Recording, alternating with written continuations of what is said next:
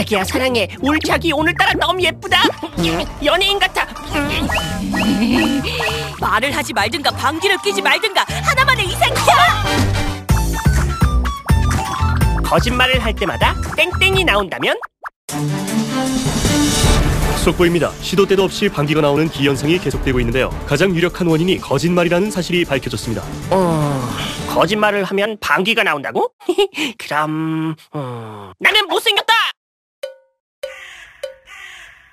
잠깐 로딩 중인가 보네 내일 면접 준비나 해야겠다 그래, 다갈 씨는 우리 회사 지원 동기가 어떻게 되나요? 저는 줄곧 이 회사가 목표였습니다.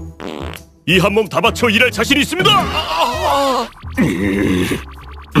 은맨 씨는 우리 회사에 궁금한 점 없나? 이 회사가 업계 1위를 달릴 수 있는 비결이 뭔가요? 음, 우리 회사는 말이야 일단 직원들을 최우선으로 하지 그리고 수평적인 문화와 가족 같은 분위기로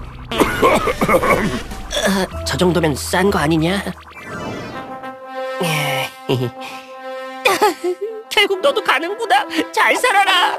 신랑 김감자군은 신부 박구마양에게 영원한 사랑을 맹세합니까? 네. 신부 박구마양은 신랑 김감자군에게 영원한 사랑을 맹세합니까? 네. 박구마 너. 야 김감자. 사랑은 움직이는 거야. 어떻게 사람이 변하니? 감자야 힘내. 결혼이 별 거냐? 광고가 솔로가 편하고 얼마나 좋은데. 차 차오른다. 야 그리고 솔직히 말해서 버, 버텨. 처음부터 너가 훨씬 아까웠어.